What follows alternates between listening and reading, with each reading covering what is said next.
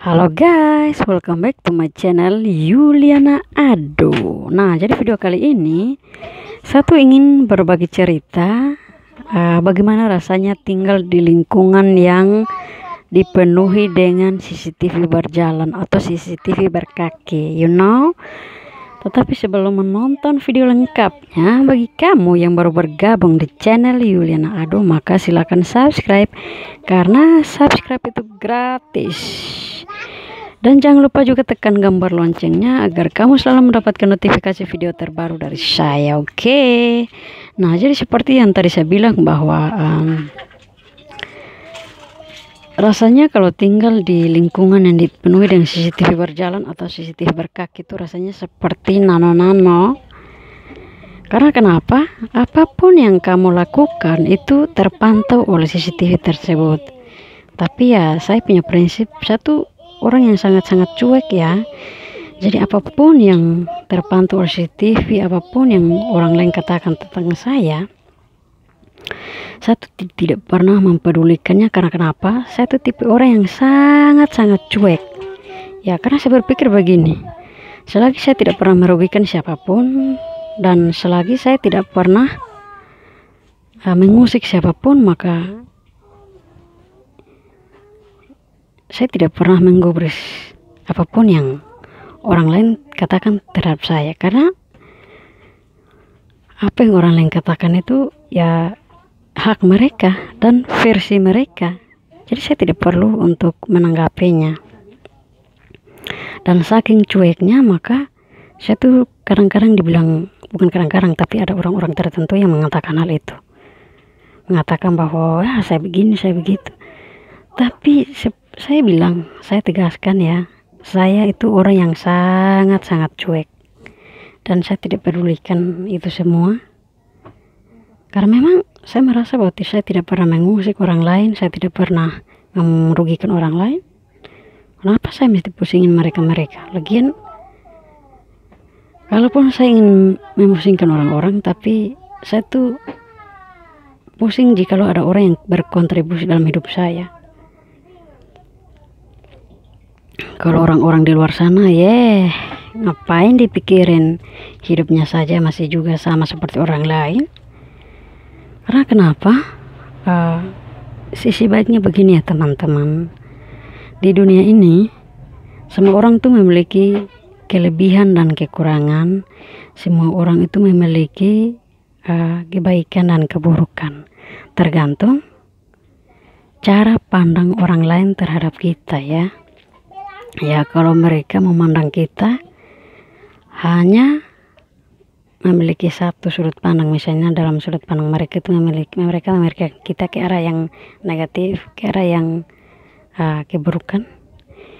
Otomatis apa pun yang mereka katakan apa pun yang mereka pikirkan apa pun yang mereka uh, menilai pasti buruk lah apalagi jika seseorang itu memang pada dasarnya sudah membenci sesuatu. Ya apa pun yang kamu lakukan pasti akan tidak ada baiknya. Jadi ya tidak usah dipusingkan tidak usah dipikirkan karena semua orang punya hak menilai sesuatu semua punya orang punya hak untuk mengatakan sesuatu tentang sesuatu juga. Nah jadi gitu. Jadi ya biarkan saja apa pun itu tidak usah kamu uh, memikirkannya kecuali kalau orang yang berkontribusi dalam hidup kamu ya. Perlu untuk kamu pertimbangkan apa yang dia bicarakan apa yang dia omong. Tapi selagi mereka yang di luar garis mengatakan apa pun tentang kamu eh jangan dipusingkan. Karena itu cuma orang-orang yang punya penyakit penyakit hati ya jadi itu tidak bisa disembuhkan oleh siapa pun, oleh dokter uh, mana pun. Itu cuma bisa disembuhkan oleh diri mereka sendiri. Toh, kamu tidak bisa memaksakan mereka untuk berpikiran baik tentang kamu. Karena memang itu hak mereka. Jadi ya, jadilah orang yang cuek menghadapi uh, orang-orang uh, yang suka ngomongin diri orang lain. Nah, jadi saya rasa ya video ini semoga membantu karena video ini juga khusus untuk uh, buat orang-orang yang suka ngomongin diri orang lain.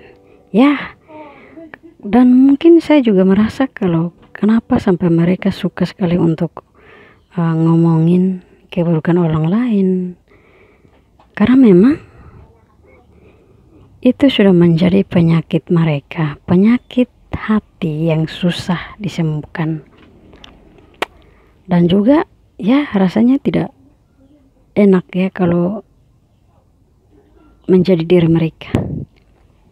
Karena itu sudah menjadi darah daging. Jadi bagaimanapun rasanya tetap akan memiliki rasa seperti itu. Jadi buat Lolo atau buat teman-teman yang merasakan hal yang sama lo cuekin saja. Ngapain juga dipusingin? Emangnya mereka tuh siapa? CCTV ah bisanya cuma gitu aja. Cuma memantau orang. Ya jadi ya namanya juga uh, hukum tabur tua ya. Jadi mungkin hari ini kamu senang karena kamu merasa puas dengan omongin kekurangan orang lain. Tapi mungkin di luar sana juga orang akan ngomongin kekurangan kamu. Jadi ada timbal baliknya ya atau hukum tabur tuwe jadi buat teman-teman yang merasakan hal yang sama atau tinggal di lingkungan yang juga dipenuhi dengan CCTV berkaki.